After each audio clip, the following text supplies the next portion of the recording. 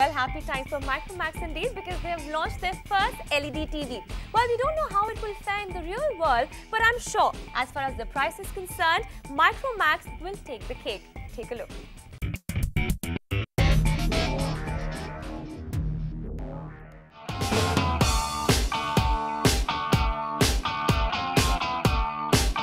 Festive season is just round the corner, and besides the celebration, it's about time to buy new things. So, Sony has introduced a whole new range of products for you to buy.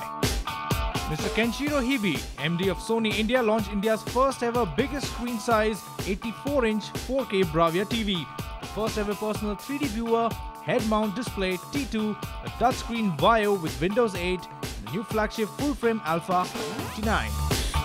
Sony is expecting a great financial year and looks to consolidate its position in the consumer electronic market. Sony launched India's first ever 4K technology enabled 84 inch 4K Bravia television. This TV is equipped with 4K resolution, which gives 4 times the resolution of Full HD, customers can see the world reproduced in a way impossible for traditional televisions. Its 4KX Reality Pro engine is also capable of upscaling any HD content to 4K, so customers can seamlessly enjoy upscaling 2K content at any time. Our favorite was the personal 3D viewer HMZ T2. Personal 3D viewer is mounted on the head with few adjustments. You get HD, 2D and 3D personal display with virtual 5 to 1 surround sound it's pretty cool. Enjoy your 3D content in the glass. There are two OLED screens for each eye, which eliminates crosstalk, making it ideal for both film enthusiasts and solid gamers.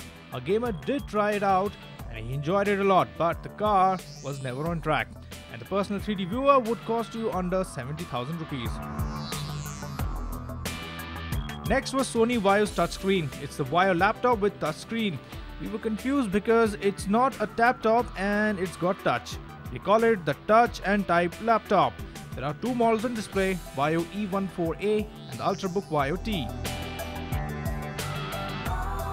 Next was Sony's camera and lenses range. The Sony DS3 Alpha A99 is a full frame camera with the world's first translucent mirror full frame and translucent mirror technology. Customers can enjoy crisp, sharp, and perfectly focused images.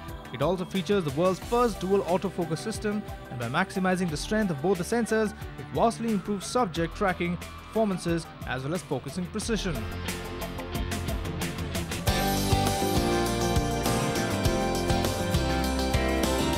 Micromax increased from 4-inch smartphone to 10-inch tablet and now it has gone all the way to 55 inches with the launch of Micromax LED televisions.